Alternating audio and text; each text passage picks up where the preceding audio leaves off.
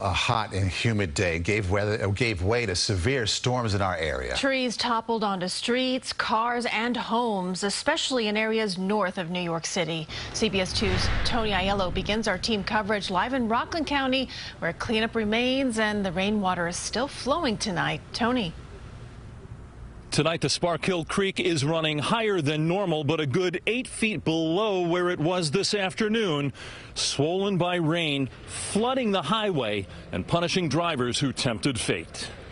Four vehicles stuck in the flooding on Route 303. First responders rescuing drivers and passengers who ventured into rapidly rising water and couldn't escape. Yep. Orangeburg Fire Chief Neil Linnity says the Tuesday storm was wild.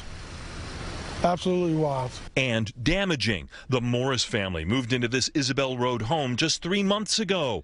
Now, the foundation washed away by the torrential rain. Their house deemed dangerously unstable. Can the house be saved?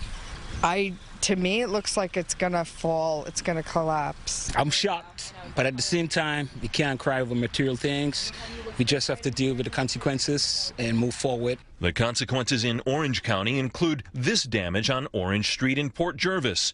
Wind brought down a massive tree right onto the car of college student Taylor Brace.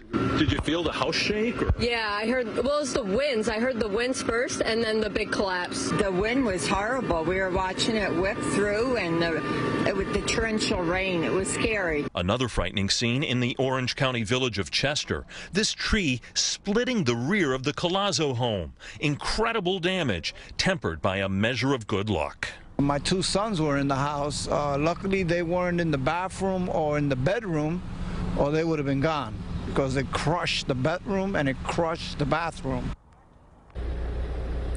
Uh, incredible damage. So after the storm, there were scores of power outages in the northern suburbs. Tonight, ORU says crews have whittled the outages down to around 500.